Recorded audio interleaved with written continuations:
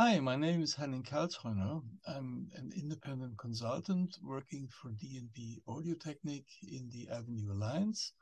And I want to show you a presentation we have shown at the InfoComm 2023 show about Milan and network convergence. So, what is this about? Um, I want to dive a little bit into the history of Ethernet for media networking. And I would say that Ethernet uh, has always been the vision for network convergence and interoperability. It started uh, roughly between 2000 and 2010 when there was a time when many different solutions for media networking were actually competing. So we had uh, time division multiplex-based network solutions like Optocore, MediorNet, uh, Stagetec Nexus, and others. Very nice technologies, very reliable, but uh, completely proprietary and not compatible with anything else. And then slowly the first solutions that actually used parts and layers of Ethernet came up, like CobraNet and EtherSound and finally also Dante, and this strange thing called AVB, and we will come back to this later, what the story is about this. However, at the same time, most devices had many different interfaces and ports uh, used for control. So on the rear of an amplifier or a mixing console or a preamplifier, you could find RS-232 ports, CAN bus, GPIO, MIDI, and various others. Uh, it was quite a chaos at that time and pretty hard to deal with. When Ethernet then became the predominant solution for device control, the path to media networking became a bit clearer. There was a question uh, like, couldn't it be one network? And it could be a network based on standard IT components, and the network could carry media and data traffic possibly in one structure. And once all devices are connected in one such network structure, they could possibly interoperate. Uh, that was a great vision at that time. So this whole idea came with a promise. It came with the promise that we could use the network that is there anyway for control. You might be able to use any switch that is available for Ethernet and that data and media traffic could coexist without interference. And this would mean that devices would just require one standardized cable for control and audio and video. And of course, the promise and the idea was this would be reliable, fast, and easy enough for professional applications and we might achieve finally the interoperability that was heavily desired already at that time. And this would mean all devices could become controllable from one instance. Devices could somehow talk to each other, and all the devices could become monitored by a software, maybe even remotely. And devices could, of course, exchange audio and video streams in real time. However, it didn't take a long time until the first problems came up. And uh, the main reason for this is that legacy Ethernet has not at all been designed for critical real-time traffic. I would even dare to say the people who have developed Ethernet would probably be a little bit scared about what we're actually doing with it by sending media uh, streams through it. So the current media network protocols, they use certain additions to Ethernet for achieving their performance. And namely, this is DiffServ, also called QoS, uh, a mechanism that priori prioritizes critical packets over other packets. It's a timing protocol for synchronization called IEEE 1588. And this exists in several versions and even different profiles within these versions and unfortunately, they are not fully uh, compatible uh, with each other. And lastly, there is a, a protocol managing multicast uh, packets in the network called IGMP.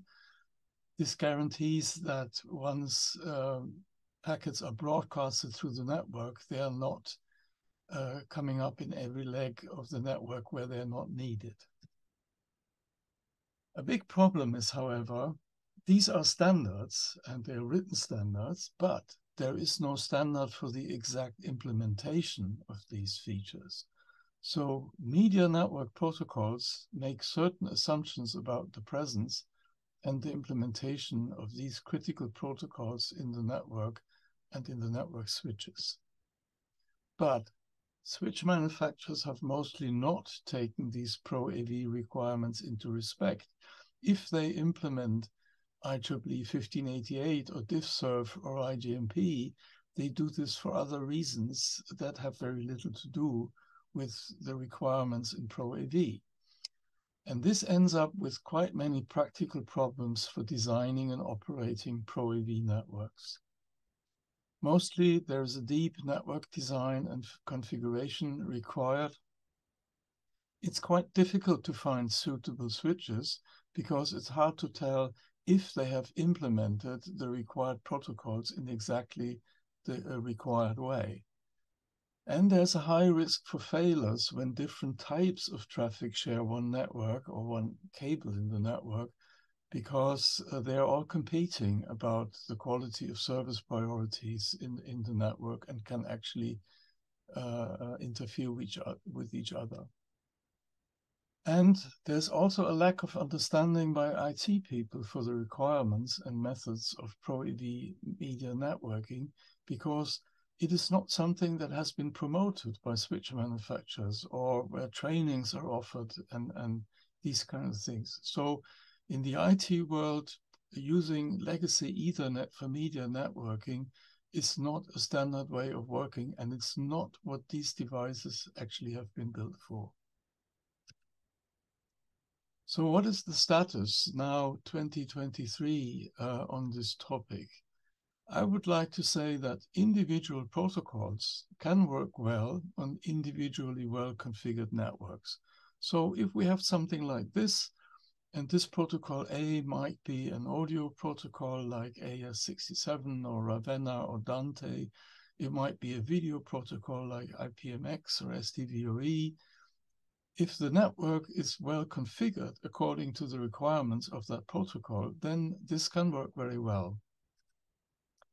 But however, as soon as we add best effort control data, we already get into some trouble because best effort control data could at any time exhibit bursts of data into the network, and that cannot be managed by the QoS properly.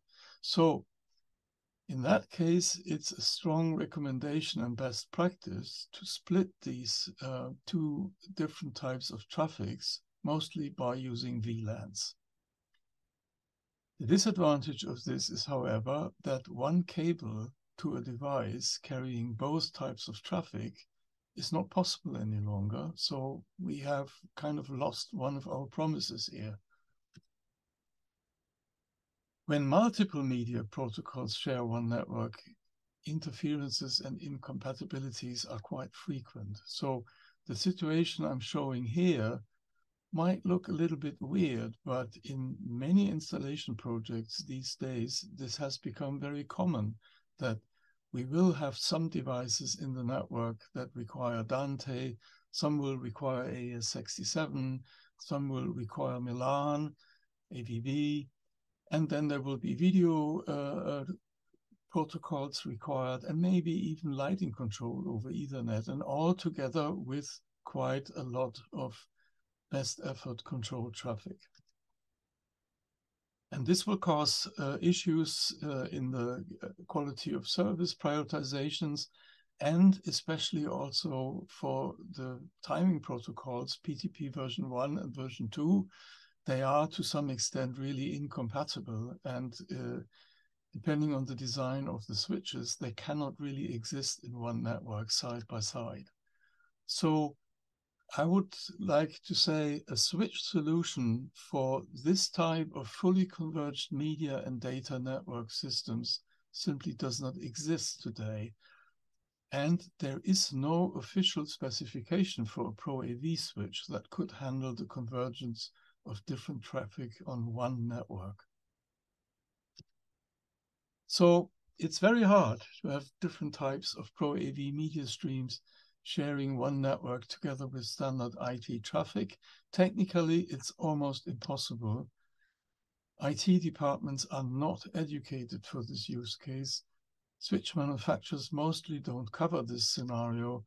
And what is the workaround in the end? It is to design systems with separated networks. So very often in installations, but also in mobile systems, we see that people actually build separate networks, uh, one for Dante, one for A67, one for the lighting guys, one for video, and so on. And uh, this is in the end a design of a complicated non-convergence that is very hard to manage and maintain. So the status is um, the scenario shown here in this diagram with, with quite a number of different media protocols plus control traffic is a re realistic requirement in many or maybe even most Pro AV applications already today. However, we have to uh, recognize that this solution simply doesn't exist based on legacy Ethernet and the problem grows exponentially with more devices coming to the market that actually have media network interfaces on Ethernet. Um, and they want to be configured in the systems, and and uh, a network design has to be put in place in order uh, for them to work. Now, how and why is Milan a part of the solution here?